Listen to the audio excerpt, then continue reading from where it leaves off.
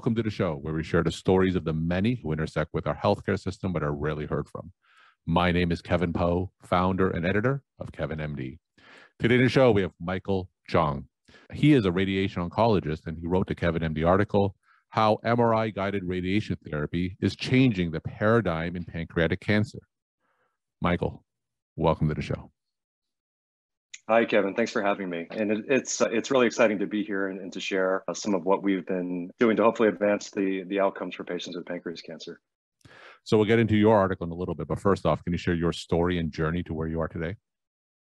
So I'm a, radiation oncologist, like you mentioned, here at Miami Cancer Institute. I'm uh, a, a, a specialist in terms of radiation therapy for gastrointestinal cancers, especially liver and pancreas cancer.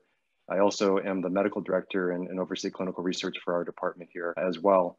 And have been here for about five to six years since the Cancer Center opened. So I don't have very many radiation oncologists on the show. What are some challenges that face the field today?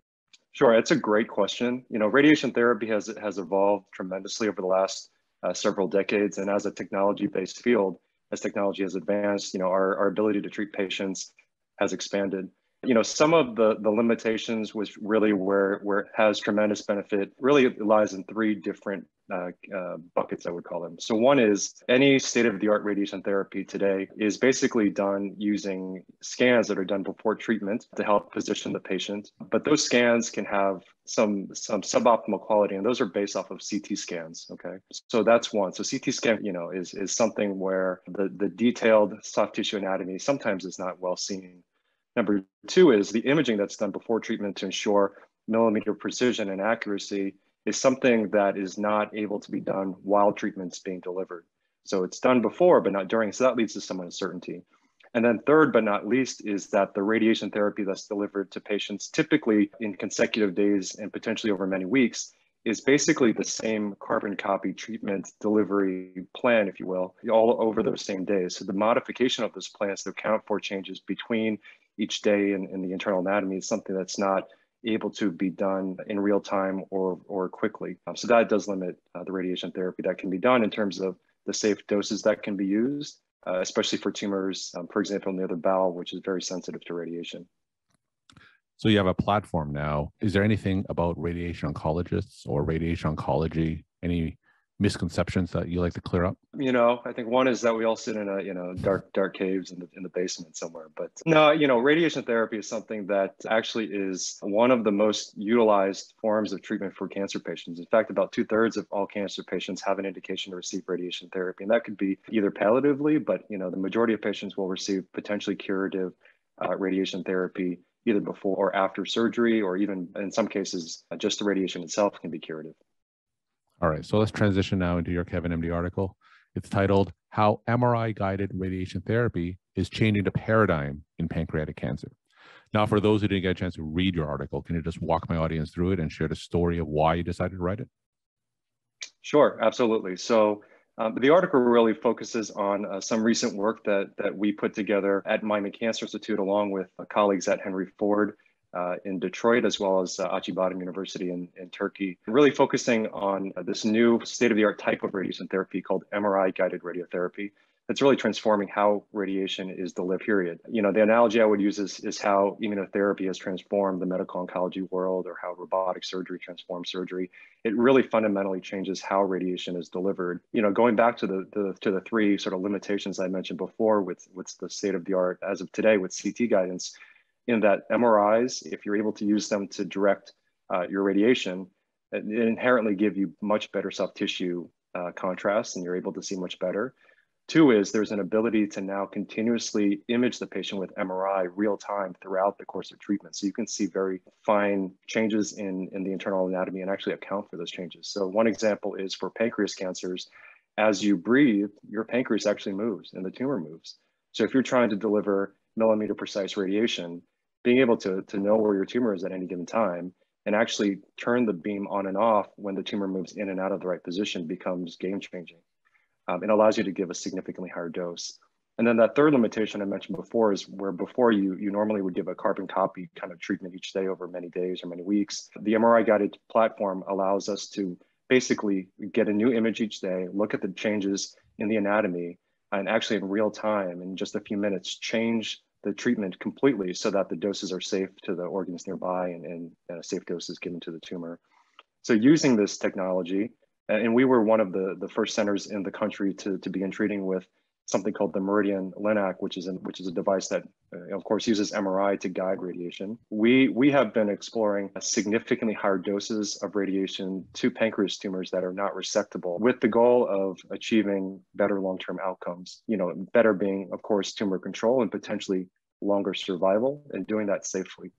And, and this is a, a, a, a paradigm that typically is done as an outpatient in five consecutive days, non-invasive. There's no anesthesia, no, no IVs or anything. It's all completely non-invasive, millimeter precise treatment that delivers what's called an ablative dose. So it's a dose that that has effects potentially as maybe as good as surgery and certainly higher than what is done as as you know on, on any other platform and in fact the doses that we have been giving have been actually upwards of twice as high as what you could safely give using other machines or other technologies so the data that we um, included in the in the in the article uh, basically summarized an analysis that we did with the other institutions institutions I mentioned of almost 150 patients with unresectable pancreas cancer who received this ablative MR guided radiation therapy, uh, and we looked at how they did in the long term.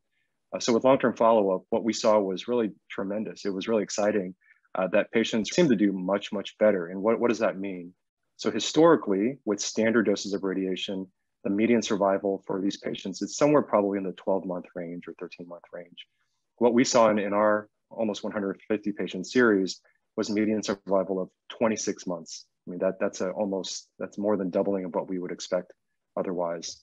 The other exciting outcomes we saw were that the two-year survival with standard radiation doses is somewhere around the 20% range. That's been replicated over many studies over many years. And in our analysis, we saw that was actually over 50%. So again, representing potentially a doubling in what can be achieved in terms of long-term survival.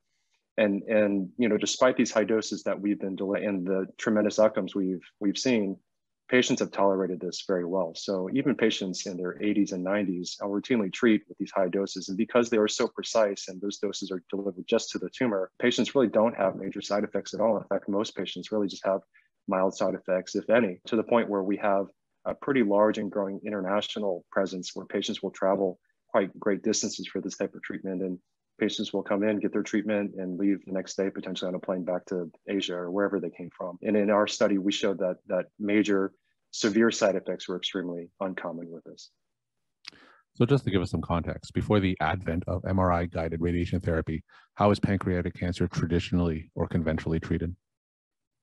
So that's a great question. You know, the outside of MR guided radiotherapy, so CT scans are what guide a lot of radiation therapy, including that for pancreas cancer. There are five day regimens using CT guidance that are routine at, at many centers. However, the dose that's delivered per day and the cumulative dose is significantly less than what we have been delivering using MRI guidance, just because it's, it's not because that dose is effective, but that's really just because that's the safe dose that can be given.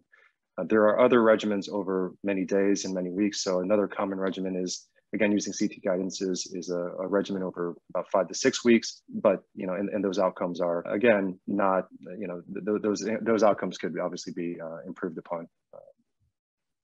So tell me, what kind of pancreatic cancer patients would be suitable for MRI guided radiation therapy?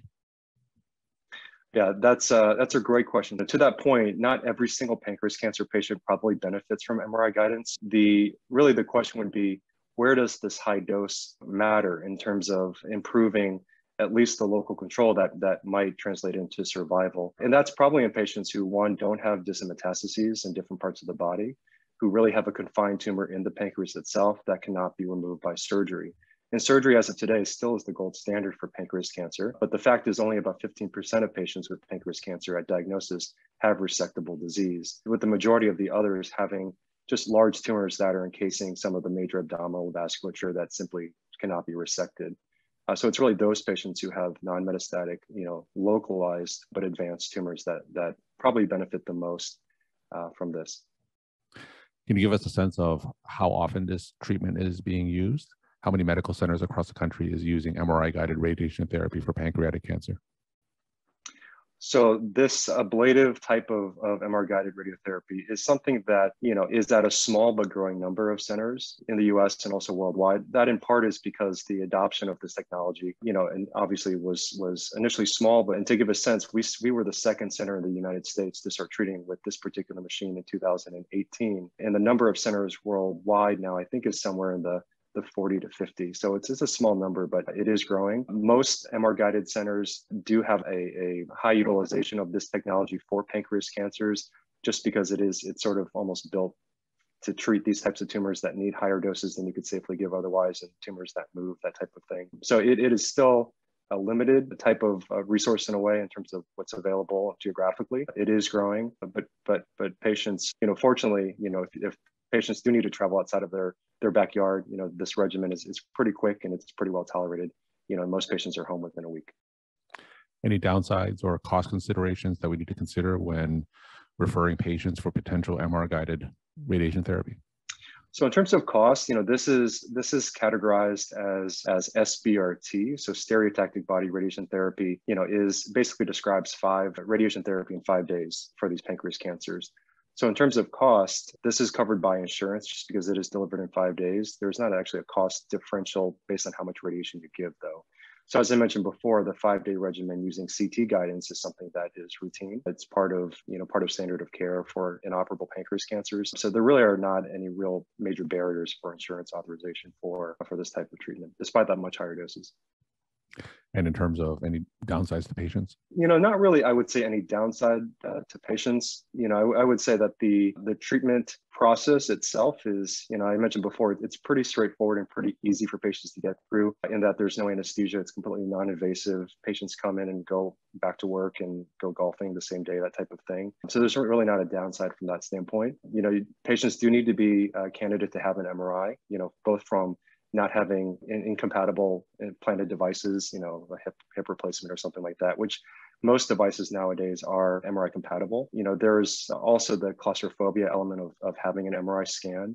And the, the, the treatment machine that, that we've been using is just like any other MRI scanner. It's a narrower bore than a, than a CT scanner. So there are claustrophobia concerns that some patients may have one interesting and really helpful part of, of our system is that there's the, the patients actually will see a screen when they're in the machine. There's actually a mirror system where they actually see a monitor outside the room of their MRI in real time. So they actually will see kind of what's going on. And in fact, what's really interesting is that the, the, the, system is so advanced it actually automatically will track where their tumor is and show the patient this as they're moving. And, and, and there's basically a target area that they need to kind of get their tumor into with based on their breathing. And, and so that turns the machine on and off itself and it actually helps engage the patients and helps the time go by faster. And, and those claustrophobic patients rather who uh, otherwise may have had a lot of difficulty with the treatment are just so engaged in this that actually I've never had a patient who's been claustrophobic and not been able to get their treatment.